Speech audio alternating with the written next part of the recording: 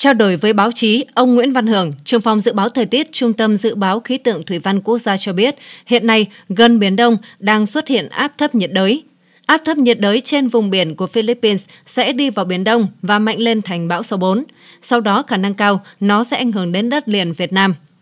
Thông tin từ Trung tâm Dự báo Khí tượng Thủy văn Quốc gia cho biết, hồi 19 giờ ngày 16 tháng 9 năm 2024, vị trí tâm áp thấp nhiệt đới ở trên vùng biển phía đông đảo Luzon, Philippines – Sức gió mạnh nhất vùng gần tâm áp thấp nhiệt đới mạnh cấp 7, từ 50 tới 61 km h giật cấp 9, di chuyển chủ yếu theo hướng Tây khoảng 15 km h Theo ông Hưởng, vị trí áp thấp nhiệt đới hình thành khá giống với vị trí của cơn bão số 3 bão Yagi. Tuy nhiên, điều kiện môi trường hiện nay không thuận lợi như thời điểm cơn bão số 3 xuất hiện. Áp thấp nhiệt đới này phải chia sẻ năng lượng với một cơn bão đang hoạt động ở phía Tây Bắc Thái Bình Dương. Vì vậy, khi vào Biển Đông, áp thấp nhiệt đới chưa thể mạnh lên thành bão mà phải mất 1 đến 2 ngày để hoàn thành cấu trúc của bão. Ngoài việc chịu tác động của cơn bão phía Tây Bắc Thái Bình Dương, nó vẫn chịu tác động của dòng dẫn đường quy mô lớn từ áp cao cận nhiệt đới. Ngoài ra, áp thấp nhiệt đới còn chịu một tác động nữa, đó là khối không khí lạnh có thể ảnh hưởng đến nước ta sau ngày 19 tháng 9. Với tất cả yếu tố này, cho thấy đường đi của áp thấp nhiệt đới sẽ rất phức tạp, ông Khương nói. Dự báo thời gian cụ thể áp thấp nhiệt đới thành bão, ông Hường cho rằng khoảng ngày 18 tháng 9, áp thấp nhiệt đới sẽ trở thành cơn bão số 4 trong năm 2024. Khi di chuyển đến giữa quần đảo Hoàng Sa, sẽ có hai kịch bản xảy ra. Kịch bản 1, bão số 4 di chuyển vào khu vực Trung Trung Bộ. Kịch bản 2, bão số 4 di chuyển theo hướng Tây Tây Bắc và sẽ ảnh hưởng đến miền Bắc, phía Bắc miền Trung. Tất cả dự báo của Việt Nam và quốc tế đều nhận định cường độ của bão số 4 không thể mạnh như bão số 3. Nếu theo kịch bản 2, bão sẽ ảnh hưởng đến đất liền vào cuối tuần này, còn theo kịch bản số 1, bão sẽ có tác động sớm hơn từ 1 đến 2 ngày, ông Hường nói thêm. Trường phòng dự báo thời tiết lưu ý về gió mạnh trên Biển Đông từ sáng ngày 17 tháng 9, vùng biển phía đông của khu vực Bắc Biển Đông có mưa rào và rông mạnh, gió mạnh cấp 7 từ 50 tới 61 km h giật cấp 9, 75 tới 88 km h biển động mạnh. Vùng biển phía đông khu vực Bắc Biển Đông, sóng cao 2 tới 4 mét. Để chủ động ứng phó với những diễn biến của áp thấp nhiệt đới, Bộ trưởng Bộ Nông nghiệp và Phát triển Nông thôn đề nghị các bộ ngành, Chủ tịch Ủy ban Nhân dân các tỉnh, thành phố ven biển từ Quảng Ninh, Bình Thuận theo dõi chặt chẽ diễn biến của áp thấp nhiệt đới, quản lý chặt chẽ các phương tiện ra khơi, tổ chức kiểm đếm thông báo cho chủ các phương tiện, thuyền trưởng các tàu thuyền đang hoạt động trên biển biết vị trí, hướng di chuyển và diễn biến của áp thấp nhiệt đới để chủ động phòng tránh, thoát ra hoặc không di chuyển vào khu vực nguy hiểm. Cạnh đó, Bộ Nông nghiệp và Phát triển Nông thôn đề nghị các địa phương và các bộ ngành có liên quan sẵn sàng lực lượng phương tiện để cứu hộ cứu nạn khi có yêu cầu, đồng thời tiến hành trực ban nghiêm túc, thường xuyên, báo cáo về Bộ. Theo Trung tâm Dự báo Khí tượng Thủy văn Quốc gia, hồi 1 giờ ngày 17 tháng 9, vị trí tâm áp thấp nhiệt đới ở 17 độ Vĩ Bắc, 122 độ Kinh Đông trên đất liền phía đông đảo Luzon, Philippines. Sức gió mạnh nhất vùng gần tâm áp thấp nhiệt đới mạnh cấp 7, giật cấp 9, di chuyển chủ yếu theo hướng Tây, tốc độ khoảng 15 km/h. Đến 1 giờ ngày 18 tháng 9, áp thấp nhiệt đới di chuyển theo hướng Tây Tây Nam, tốc độ khoảng 25 km/h và mạnh lên thành bão, bão số 4 trên khu vực Bắc Biển Đông, cách Hoàng Sa khoảng 420 km. Sức gió mạnh nhất vùng gần tâm bão cấp 8, giật cấp 10, độ rủi ro thiên tai cấp 3. Đến 1 giờ ngày 19 tháng 9, bão di chuyển hướng Tây Tây Nam, tốc độ khoảng 15 đến 20 km/h trên khu vực Hoàng Sa, Sức gió mạnh nhất vùng gần tâm bão cấp 9 giật cấp 10, độ rủi ro thiên tai cấp 3. Trong 48 đến 72 giờ tiếp theo, bão có khả năng đổi hướng, di chuyển theo hướng Tây Tây Bắc, mỗi giờ đi được 10 đến 15 km.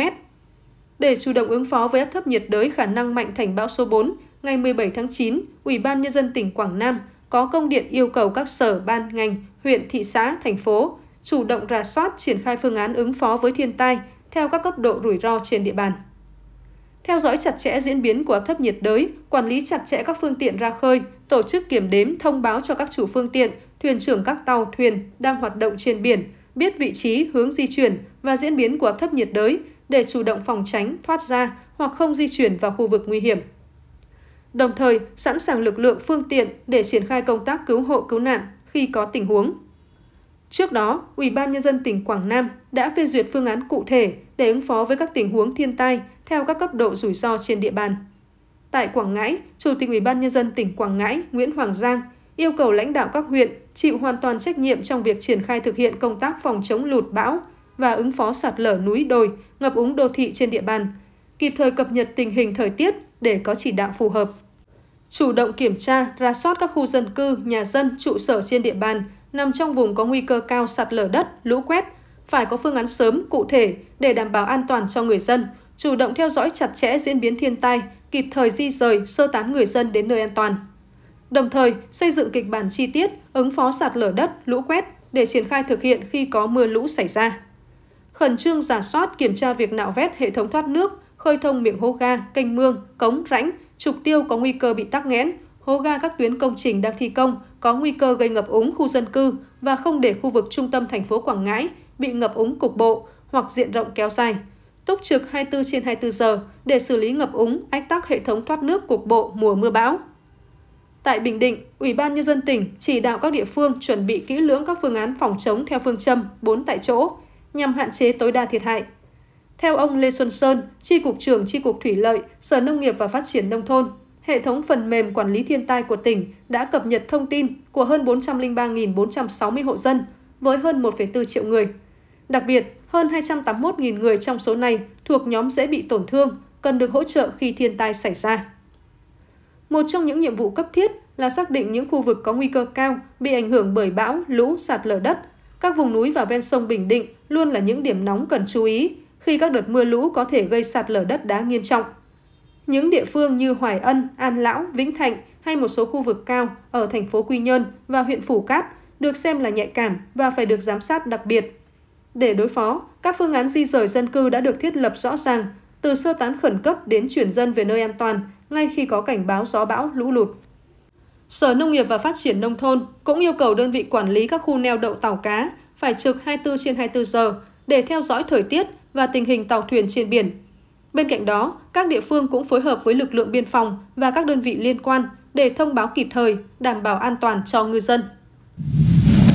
Trung tâm Dự báo Khí tượng Thủy văn Quốc gia cho biết, trưa ngày 17 tháng 9, áp thấp nhiệt đới đã đi vào vùng biển phía đông khu vực Bắc Biển Đông. Lúc 10 giờ cùng ngày, vị trí tâm áp thấp nhiệt đới ở vào khoảng 16,9 độ Vĩ Bắc, 119,9 độ Kinh Đông trên vùng biển phía đông khu vực Bắc Biển Đông. Áp thấp nhiệt đới mạnh cấp 7, 50 đến 61 km/h, giật cấp 9, di chuyển chủ yếu theo hướng Tây với tốc độ khoảng 20 km/h. Trong 24 giờ tiếp theo, áp thấp nhiệt đới sẽ mạnh lên thành bão cường độ cấp 8, cấp 9, giật cấp 10, cấp 11. Đây là cơn bão số 4 năm 2024. Khoảng 10 giờ ngày 18 tháng 9, vị trí tâm bão ở vào khoảng 16,4 độ Vĩ Bắc, 114,5 độ Kinh Đông, cách quần đảo Hoàng Sa khoảng 320 km về phía đông. Bão mạnh cấp 8, giật cấp 10, mỗi giờ đi được 25 km. Đến 10 giờ ngày 18 tháng 9, vị trí tâm bão ở vào khoảng 16,5 độ Vĩ Bắc, 110,5 độ Kinh Đông trên khu vực phía tây quần đảo Hoàng Sa. Bão mạnh cấp 9, giật cấp 11, mỗi giờ đi được 15 đến 20 km. Trong 48 đến 72 giờ tiếp theo, bão số 4 có khả năng đổi hướng, di chuyển theo hướng Tây Tây Bắc, mỗi giờ đi được khoảng 10 km. Do ảnh hưởng của áp thấp nhiệt đới sau mạnh lên thành bão số 4, vùng phía đông của khu vực Bắc Biển Đông có gió mạnh cấp 6, cấp 7, vùng gần tâm bão đi qua cấp 8, 62 đến 74 km/h, giật cấp 10, 89 đến 102 km/h, biển động mạnh. Vùng biển phía đông của khu vực Bắc Biển Đông, sóng biển cao 2 đến 4 mét, từ chiều và đêm 17 tháng 9 tăng lên từ 3 đến 5 mét. Tàu thuyền hoạt động trong các khu vực nguy hiểm nói trên đều có khả năng chịu tác động của gió mạnh, sóng lớn. Theo Tổng cục Khí tượng Thủy văn, Bộ Tài nguyên Môi trường, hiện nay đường đi của bão vẫn còn nhiều khả năng. Tuy nhiên, khả năng cao nhất, bão số 4 sẽ di chuyển vào khu vực biển từ Thanh Hóa đến Quảng Nam khoảng 70%, khả năng di chuyển hẳn lên khu vực phía Bắc Vịnh Bắc Bộ và khả năng di chuyển xuống khu vực biển Nam Trung Bộ, xác suất thấp, dưới 15%. Cập nhật mới nhất từ Trung tâm Dự báo Khí tượng Thủy văn Quốc gia hồi 7 giờ ngày 17 tháng 9, vị trí tâm áp thấp nhiệt đới ở vào khoảng 16,9 độ Vĩ Bắc, 120,9 độ Kinh Đông trên đất liền đảo Luzon, Philippines. Sức gió mạnh nhất vùng gần tâm áp thấp nhiệt đới mạnh cấp 7 từ 50 tới 61 km/h, giật cấp 9, di chuyển chủ yếu theo hướng Tây khoảng 15 tới 20 km/h. Dự báo trong 24 giờ tới, áp thấp nhiệt đới di chuyển theo hướng Tây Tây Nam với tốc độ khoảng 25 km/h, di chuyển vào Biển Đông, mạnh lên thành bão. Đến 7 giờ ngày 18 tháng 9, vị trí tâm bão ở vào khoảng 16,5 độ Vĩ Bắc, 115 độ Kinh Đông, trên khu vực Bắc Biển Đông, cách quần đảo Hoàng Sa khoảng 270 km về phía đông. Sức gió mạnh nhất vùng gần tâm bão mạnh cấp 8, giật cấp 10.